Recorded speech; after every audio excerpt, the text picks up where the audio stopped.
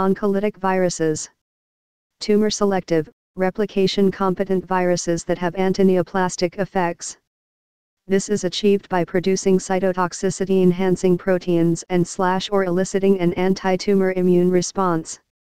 They are genetically engineered so that they can replicate in cancer cells but not in normal cells, and are used in oncolytic virotherapy.